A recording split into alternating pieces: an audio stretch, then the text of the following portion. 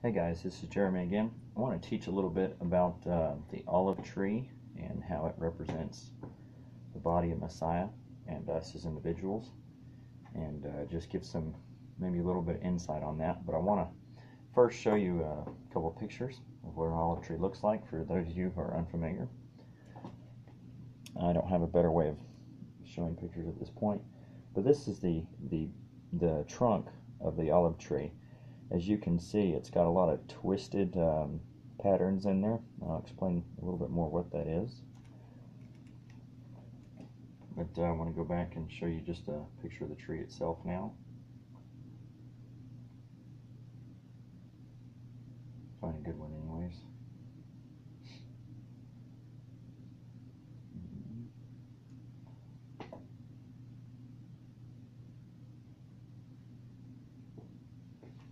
Here's here's another picture. It's a grove right there. Anyways, that's kind of what they look like. Uh, see them in Israel. They got places in California and different whatnot. But um, I'll pause this for a minute. So to get just a few things out of the way, um, I just want to bring some scriptures in uh, because I think it's kind of interesting. I'm not stating any uh, any facts aside from what I, what I read. Some of this stuff can be speculation, um, but it's just a possible insight, and y'all can throw that around and just see what you think about it. But in uh, Genesis chapter 8, verse 11, is the first time that we see the olive branch mentioned, or the olive leaf in particular. And it's when uh, it says, And the dove came into him in the evening, and lo, in her mouth, an olive leaf plucked off. So Noah knew the waters were abated from off the earth. So this is when they were. Uh, he was looking to make sure the waters were receded, and they could get out and uh, and then establish um, just just life again after the destruction of the world from the flood. And so I, I believe that uh, the olive is a sign of hope as well, um, because of the way that the structure of the tree is. There's there's many things that we can learn from it. Um, in uh, Psalm 128:3, it mentions talking about uh, a man, let his children be around his table as the olive olive shoots. And if you know the structure of an olive tree, um, you have different shoots. You've got the main trunk, and then you've got shoots that grow up individually around the, the base of the olive tree.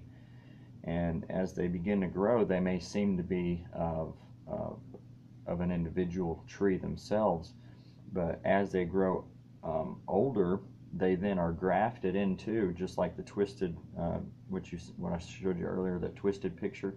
They're grafted into the natural branch um, themselves, which extends the life of the tree on through the generations.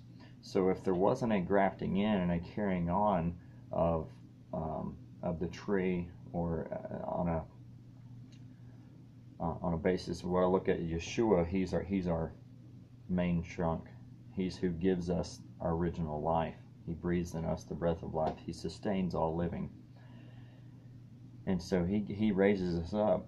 And then as we come into the knowledge of the truth and understand what the Word of Elohim is, then we are grafted into Him. It's not necessarily our own belief system that, that we bring, we, we, we're raised up and then we go tell people what we believe simply because it's a good idea. And no, we want to base everything that we do off of Scripture and off of the main tree, the true vine, which is uh, through through Yahweh and, and Yeshua.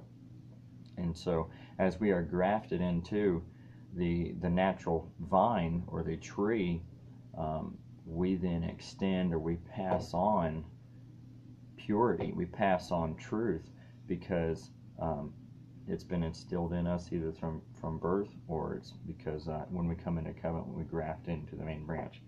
So um, uh, there's a few things to look at. Um, in Exodus 27, verse 20, um, we're told that the olive oil is used for light um, to cause the lamps to burn always and continually. And so, and that's also in Leviticus 24, 2. And so that as Yeshua is the light of the world, when when He comes and dwells in us, when His Spirit dwells in us, uh, we become essentially a light of the world. Though we're not manifesting our own light, we're manifesting the light of Yeshua to the world. Um, and so it's not for us to get our own glory and seek our own glory out of this, but to give all glory and honor to the Father. Just like when Yeshua said, He said, If you see me, you see the Father. And so that's the way our lives should be. If people look at us, people people learn from us every day of our lives. We're either teaching them something about about the Father, and our Creator, or we're teaching them something about the enemy, our adversary. And so, whether or not you believe you're qualified to be a teacher, or whether or not you feel that you're being an example, um, the truth of the matter is you are being an example. It's just which example, which which area do you want to manifest? Do you want do you want to manifest uh, the light of the world, or do you want to ma- manifest the darkness that's the oppression of this world? And so, as as the olive oil is meant for a continual light, uh, which was also used in the temple, uh, let us be a continual light which never is extinguished. Um, one of the first acts of care, excuse me, for uh, producing olives, or for once oil, uh, olives are harvested off the tree, one of the acts of care um, to provide uh, a better quality oil is a washing, uh, so that it eliminates the contaminants and things that will actually get into the oil. So, just as we are commanded to wash ourselves um, by the word of Elohim with the renewing of our mind, um, it's very important for us to rid ourselves of the things of life that want to stick to us and contaminate us. Um, and there's there's many forms of that. Um, so as as you walk with the Father and and you continue to walk in covenant, uh, seek the Father's direction on on what is it to exactly walk as you walk. Um, for the servant is not greater than the master. And, and even Yeshua told his Talmidim, his disciples, he said, are, are you able to bear this, this burden that I've bared? Are you able to walk this walk in which I've walked? Um, and for most of us, that's we don't we don't even know the answers. But uh, I encourage you to to press in and to walk as He walked.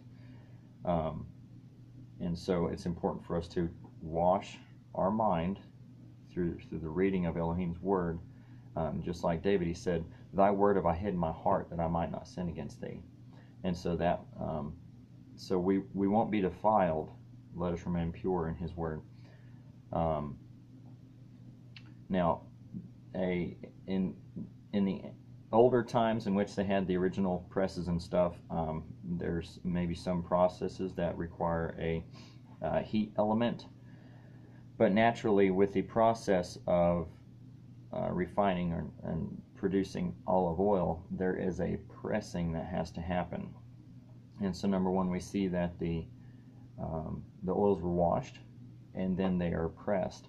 And that pressing is definitely not a comfortable thing um, because um, it reveals it reveals the things that are inside. We're actually, you know, the, the, the fruit is broken open. And, uh, and number one, it's not done as an individual thing either. They don't take one olive fruit and just press it. No, they, they take a lot of the olive olive uh, fruit and uh, and they press it at the same time, which is uh, should be an example of us as working as a body of Messiah too. Um, we, we, this is not a burden that we are bearing. It, it's it's a burden of, of our Creator that we are blessed to manifest, and um, and so let us not do things in our own strength, but rely on the strength of the Father, and so collectively with His strength, uh, we can get through these these trials. Uh, Psalm 11:5 says, "The Lord or Yahweh trieth the righteous." And so remember that even as you're going through these pressings in life and these things that make us uncomfortable um, and they, they squeeze on us, um, that it's actually for our good because it's, it's showing us who we are, but also it's getting rid of um, the impurities in our life because, uh, you know, our Father, Creator, is a consuming fire, but He's also a refining fire. And you see, olive oil has a flash point of like 800 degrees in which it'll ignite and, uh, and burn and although it's it's good for burning as a light, um, don't. It's it's important that we always go to the Father for our strength, and that we strive to be at peace, because if we don't, then the enemy is going to come and he's going to attack us in such a way that uh, when we're supposed to be being refined, we'll get that flashpoint and we'll uh, we'll actually uh, we'll burn up, and that's not somewhere we want to be. So we want to we want to be a light for uh, unto the world in this darkness, but we don't want to be consumed um, by the enemy either, or the trials that come to place.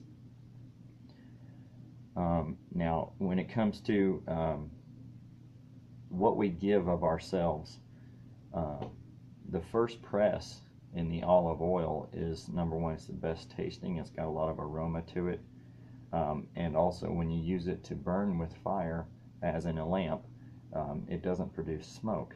And so, there's um, everything that we do, we're supposed to do to the glory of the Father and the Messiah. And so, let it be and just as the first fruits which are spoken, you know, let us give the best that we can give, that we know how to give. Let us give that because um, we will be justly rewarded for those things. And in fact, we will be rewarded much more than our efforts that we put in. But let us give, let us give of the first fruits.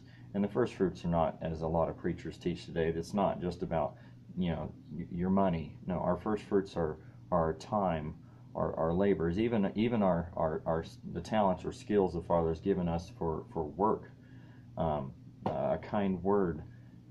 There's many many things that can be our first fruits, and so let our first press of olive, let our our fruits um, be given to the Father because they're the most beneficial. And so um, it is important to also realize the, the root system, where we're planted, because if you look at the soil, there's different types of soil, but the, but the olive tree in itself has has shallow roots. Um, it doesn't have really really deep roots, um, but it is one of the most sustainable trees even in the drought season. And so the the ruggedness of the olive tree um, is is very interesting and it's unique. But uh, but sometimes also in our own lives we have to be willing to be uprooted in the things that we've grown in.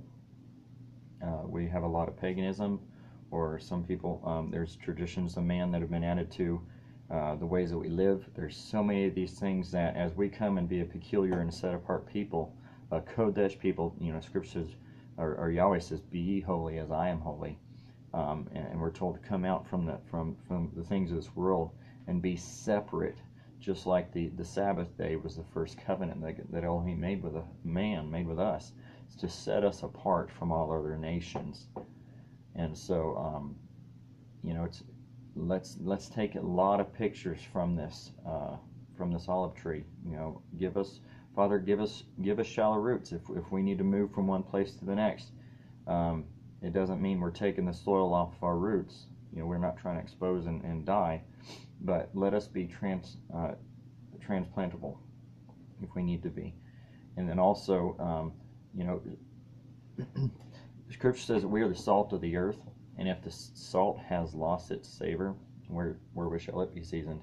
If if we continually um, just gain knowledge of Scripture, and we're not actually giving it away, um, that's also we're going to get a buildup of salt and if you look at the root systems um, with the olive tree, if there's too much salt buildup in the soil because we're not giving it out, it's actually an endangerment to the tree. It will actually, uh, so much salt will cause the roots to, to be diseased or, or um, actually uh, burnt up. So there's just, I, I know there's a, probably a lot more that can be brought into this, um, but it's just a lot of food for thought that I'm really wanting to give you guys.